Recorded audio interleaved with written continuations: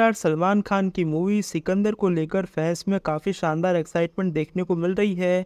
आप सभी लोगों को अपडेट की बात करें तो सिकंदर मूवी का फ़र्स्ट शेड्यूल जो है वो रैप हो चुका है।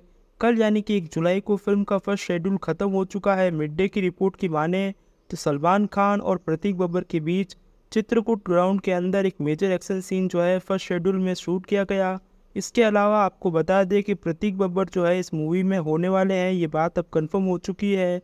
इसके अलावा बैंड्रा में ताजलैंड्स में भी एक प्लेन का जो है सेट बनाया गया, जिसमें काफ़ी मेजर एक्शन सीन जो है शूट किया गया। फ़िल्म में जो ये सीन होने वाला है, इसमें बहुत ही शानदार आपको एक्शन देखने को मिलेगा।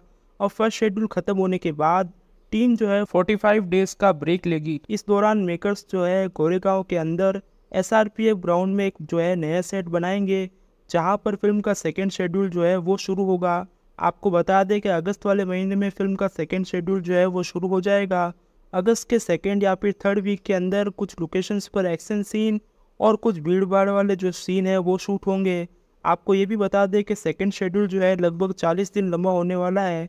एक फ़ोटो भी काफ़ी तेज़ी से वायरल हो रहा है, जिसमें ये बताया जा रहा है कि रश्मिका मंदना जो सिकंदर मूवी के सेट पर पहुँची तब का ये फ़ोटो है, आपको बता दें कि ये एक एडिटेड फ़ोटो है। ये फ़ोटो छावा के सेट से लिया गया है, जिसमें रश्मिका मंदाना काम कर रही है, मेडोक फ़िल्म के अंतर्गत ये फ़िल्म बन रही है। तो आप लोग भी हमें कमेंट में ज़रूर से बताइएगा कि सिकंदर मूवी में जो ये एक्शन सीन होने वाले हैं, उसको बड़े पर्दे पर देखने के लिए आप सभी लोग कितने ज़्यादा एक्साइटेड हैं, ये आप हमें कमेंट में ज़रूर से बताइएगा। और हाँ यहाँ पर हम कोई स्पॉयलर्स नहीं दे रहे हैं, आपको बता दें कि रिपोर्ट के अकॉर्डिंग जो न्यूज़ आई, वो हम आपको बता रहे हैं। साथ में आपको ये भी बताना चाहेंगे कि रिपोर्ट में जो चीज़ें मेंशन की गई है, वो फ़िल्म से काफ़ी ज़्यादा कम बताई गई है। फ़िल्म में उससे भी ज़्यादा आपको जो है ग्रैंड एक्शन सीन देखने को मिलेंगे। ये बस कुछ एक्शन सीन की जो है यहाँ पर डिटेल दी गई है। बाकी और भी एक्शन सीन फ़र्स्ट शेड्यूल में शूट हुए हैं। तो आज के इस वीडियो में इतना ही। Thank you for watching the video